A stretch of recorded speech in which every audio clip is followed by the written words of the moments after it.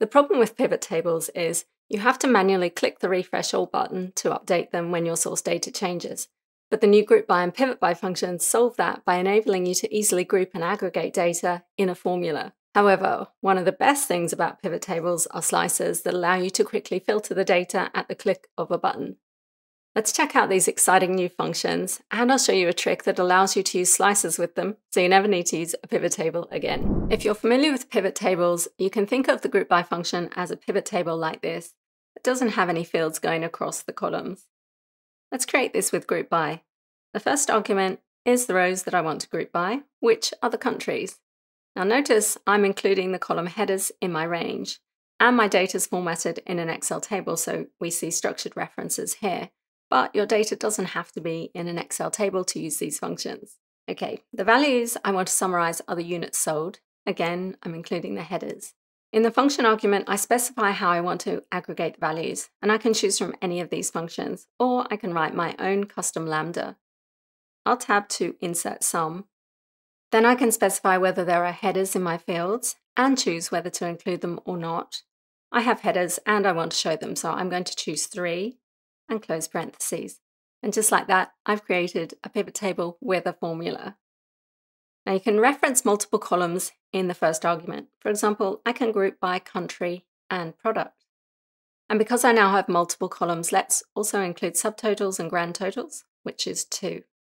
And notice after each country, I now have a subtotal row. Let's say I want to group by segment and product columns, which are non-contiguous. In that case, I can use hstack to join them together. Just reference each column, separated by a comma, and close hstack. Let's also summarize both the units sold and sales columns. And now I have my units sold and sales grouped by segment, then product. Of course, you could also use hstack to rearrange the order of the columns, so you could have product, then segment. Now we can also specify a sort order. And the sort order argument is a number that corresponds to the columns returned in the table. In this case, I have four columns. And if I want to sort based on units sold, it's the third column.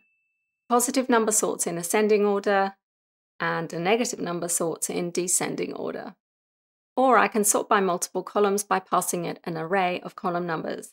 For example, I'll sort by the first column in ascending order, and then the second column in descending order. Close the curly braces, and now the data is sorted. We can also apply filters. For example, let's say we want to exclude mid-market. I'll select the column I want to filter by and then simply say not equal to mid-market. Now my table excludes mid-market. Pivot by is essentially the same as group by, except it has additional arguments for the columns. For example, let's group the segment and country columns in the rows and the products across the columns with the sales in the values aggregated with sum. Three to show headers, and I'll include grand totals and subtotals, which is two.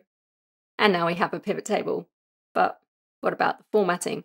Well, we can use conditional formatting to automatically format total rows and columns and have it dynamically update as the formula updates. Now notice there's a blank cell on each total row.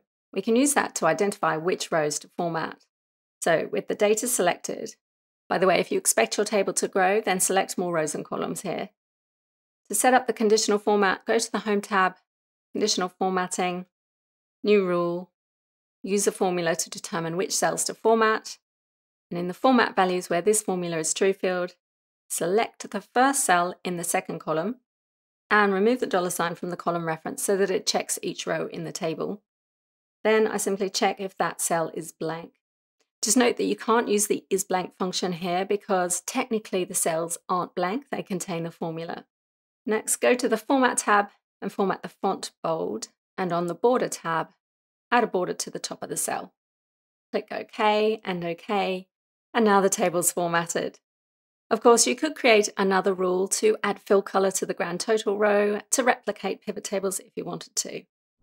Slicers are one of the best things about pivot tables. And thankfully, we can use slicers with Excel tables and leverage the filter argument to pass the filtered state to the group by and pivot by functions. To start, select a cell in the table and go to the Insert tab and Insert Slicers for segment and country. Let's cut them out and move them to this sheet. Then I'm going to add a column to the table, which I'll call filter. Here I'll use subtotal with function number 103. Now this is the equivalent of count A, and this function number is going to ignore hidden rows. So it will return 0 if the row is hidden, which is the equivalent of false, and 1 if the row is visible, which is the equivalent of true.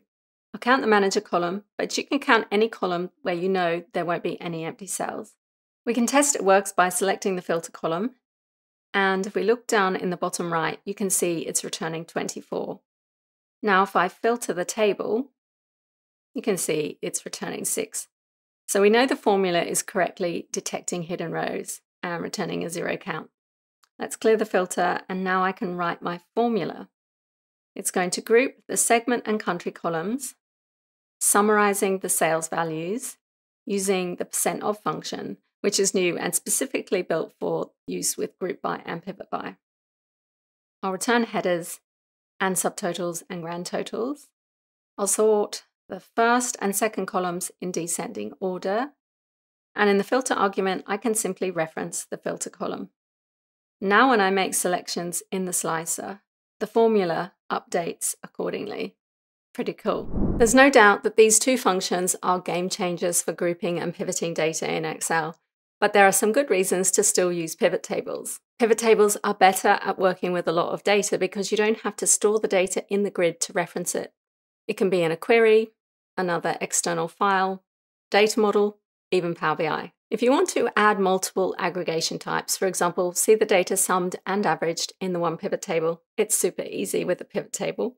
Whereas writing this in a group by or pivot by formula is complicated. All versions of Excel support pivot tables, whereas group by and pivot by are only available to Excel users with Microsoft 365.